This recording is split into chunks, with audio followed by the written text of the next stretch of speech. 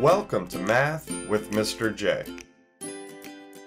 In this video, I'm going to cover how to convert percents to decimals. Let's jump into our examples, starting with number one, where we have 85%.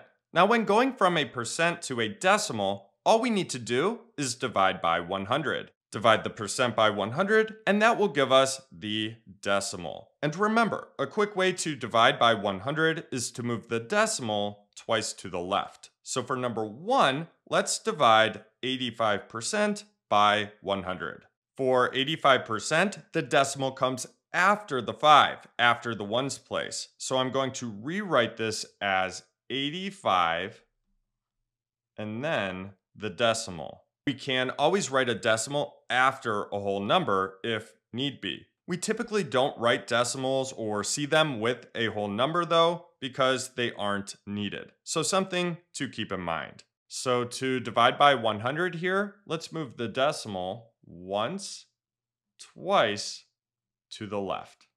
That gives us 0.85, 85 hundredths. So 85% equals 0.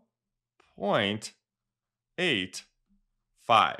Now, when I rewrote that decimal, I started with a zero and then the decimal. This is common when writing decimals because it helps us recognize and see the decimal. We don't want the decimal to get overlooked. Let's move on to number two, where we have 2%. I'm going to rewrite this underneath with a decimal, and now we need to divide by 100. So let's move the decimal once, twice to the left. And we need to fill this gap, this place, with a zero. So we get 0.02. 2% equals 0.02, 2 hundredths as a decimal. Let's move on to number three, where we have 70%. I'm going to rewrite this underneath with a decimal, and then let's divide by 100. So move the decimal once, twice to the left. So we get 0.70.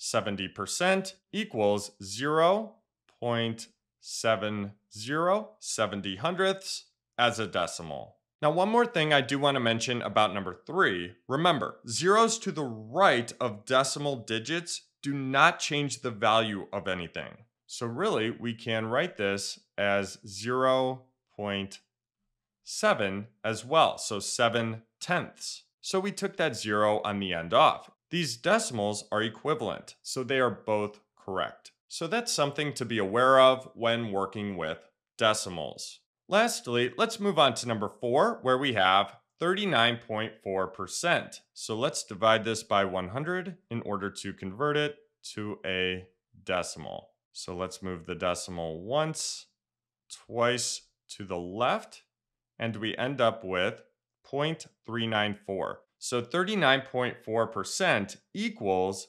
0.394. So 394 thousandths. So there you have it. There's how to convert percents to decimals. Divide the percent by 100. And we can quickly do that by moving the decimal twice to the left. I hope that helped. Thanks so much for watching. Until next time, peace.